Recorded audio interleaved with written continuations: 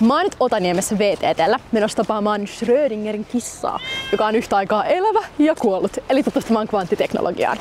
Olkaa tarkkana, sillä tässä voi olla vähän hankala pysyä messissä. Kvanttiteknologioita on paljon erilaisia tai erityyppisiä, mutta täällä VTTllä me keskitytään pääasiassa tämmöisiin suprajohtaviin kvanttiteknologioihin ja sen sovelluksiin. Okei, no mihin me ollaan nyt matkalla? Mennään seuraavaksi tuonne meidän terahertsilabraa. What? Okei. Tämä näyttää vähän mun mummi Aukin kattokruunulta. Miten sitten tämä kone liittyy tähän kaikkeen? No, tämä on meidän kryostaatti. Tällä saadaan jäähdytettyä noita meidän näytteitä sitten sinne lähelle absoluuttista nollapistettä. Sanottaa vielä kameralla. Enkä! Mä siis luulin, että absoluuttinen nollapiste on sama kuin nolla astetta. Mutta sain kuulla, että se oli jotain miinus 200 jotain.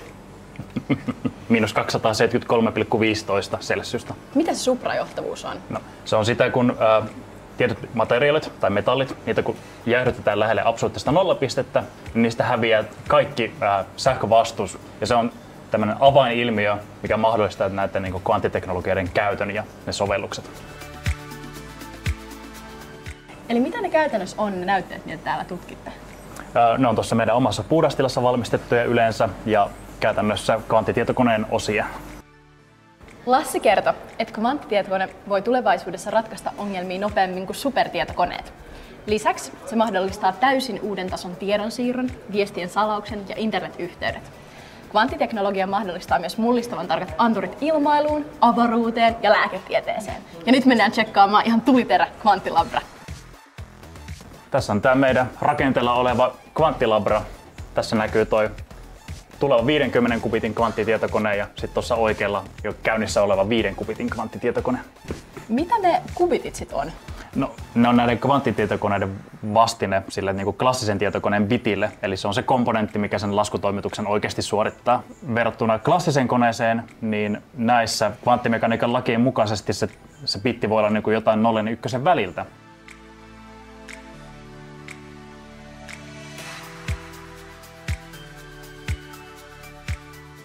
Ja siitä tulee niin kuin se huikea laskutehon kasvu, mikä näissä kvanttitietokoneissa on.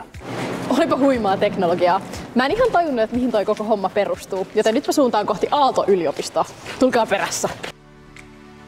Hetkinen. Näyttää nyt siltä, että me palataan tuohon samaan osoitteeseen.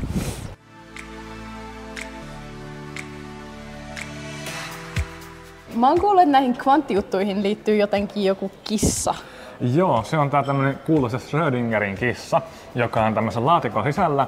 Ja siihen asti, kunnes se laatikko avataan, niin se kissa on yhtä aikaa sekä elävä että kuollut. Ja se on esimerkki tämmöistä kvanttisuperpositiosta. Eli kvanttimekaniikassa nämä meidän kvanttisysteemit voi olla yhtä aikaa useassa eri tilassa se kvanttitietokone voi tavallaan laskea useita asioita yhtä aikaa, mikä tekee sitä joidenkin tiettyjen ongelmien ratkaisussa ihan huimasti klassisia tietokoneita nopeamman. Mutta mä niin iloinen, mä tajusin! Mitä sä kirjoittelet siinä? Schrödingerin yhtälö, tämä on se kvanttimekaniikan perusyhtälö. Se kissa on tässä näin. Tämä on se aaltofunktio, joka esimerkiksi kuvaa sen kissan toimintaa. Sä kirjoitit sen väärin. Se on niin kuin Schrödinger sille niin kuin SC. Eli sanoit mulle, että teet sellaisella superkvanttitietokoneella töitä. Onko tää nyt se? Ei, tää on mun ikivanha läppäri, mutta tämän läppärin kautta mä voin lähettää tai mä voin käyttää sitten pilvivalon kautta tämmöistä IBMn ihan oikeata kvanttitietokonetta kun mä ajan näitä tämmöisiä niin kuin mun simulaatioita vielä tällä nykyisellä teknologialla, niin jos mä ajan sen simulaation sille, että mä annan tämän mun ikivanhan läppärin pyörittää sen simulaation sen kvanttitietokoneen sijasta, niin itse asiassa ikivanha läppäri on paljon nopeampi ja paljon tarkempi. Okei, okay. mutta mitä sä siis niinku käytännössä teet? Tai mitä sä, niinku, mitä sä, mitä sä simuloit? Mä, mä, mä simuloin semmoista niinku yksittäistä kubittia, siinä on semmoinen lisä, että se kubitti käyttäytyy, kubitti on ei-hermiittinen. Eli se rikkoo tämmöisiä perinteisen kvanttimekaniikan lakeja. Tota, eh, esimerkiksi sitä lakia siitä, että kaikkien todennäköisyyksien pitäisi summautua ykköseen. Ja jotta mä voin tämmöistä kubittia simuloida, niin mun pitää tehdä sellaisia ovelia matemaattisia temppuja, että mä saan sen kvanttitietokoneen niin käyttäytymään ei-hermiittisesti. Tätä pystyy kuka tahansa sitä halutessaan kokeilemaan. Eli siis mäkin voisin ohjata Joo. kvanttitietokonetta? Joo. Mitä? Miksi sulle ei ole kertoa aikaisemmin? Miksi sinua alkoi kiinnostaa tällaiset asiat? kvanttimekaniikassa erityisesti on tosi kiehtovaa, että miten se tavallaan tutkii sellaisia todellisuuden pienimpiä rakennusosia, tavallaan ikään kuin sellaisia Lego-palikoita, mistä kaikki muu on rakennettu. Ja sit jos näitä palikoita ymmärtää ja osaa rakentaa niillä, niin voi tehdä kaikkia tosi huikeita juttuja, kuten esimerkiksi näitä supernopeita kvanttitietokoneita tai vaikka esimerkiksi maglev-junia, jotka leijuu ilmassa. Okei, okay, cool. Valoa voidaan soveltaa myös kvanttiteknologiassa, mutta jotta voitaisiin mennä peremmälle, niin laita nämä lasit. Täällä on laasereita ja turvallisuus on tärkeää. Cool.